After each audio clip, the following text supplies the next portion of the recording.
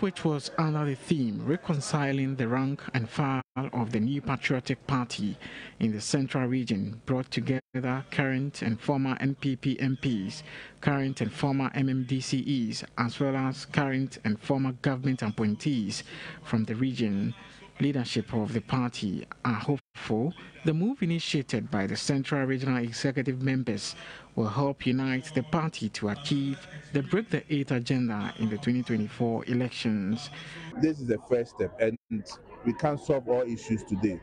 What is important is after today, how we'll be able to bring everybody on board for them to understand that we appreciate them, their contributions are needed, and therefore going forward, we will counting on them to also play the role that like they played in 2016. Professor Christopher Ameyaw Ekumfi, a former Minister of Education, also tasked aggrieved members to make peace with those they have issues with in order to deepen unity in the party. We want peace to prevail in the constituencies, especially uh, during this time when we're going to have primaries for parliamentary candidates. And it's important that we reconcile all the differences we have.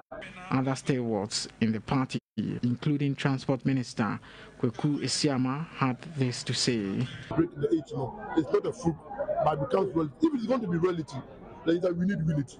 Unity cannot only be by one person. By the issue is that we need to bring everybody.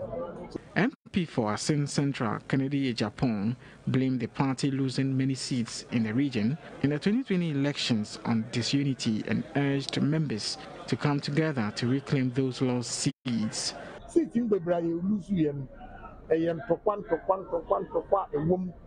We lost most of our seats due to internal fights and disunity. People campaigned against each other. These things must stop.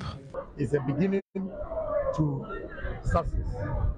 The NPP currently has only 10 out of 23 seats in the central region and hoping the region be a decider in the 2024 elections.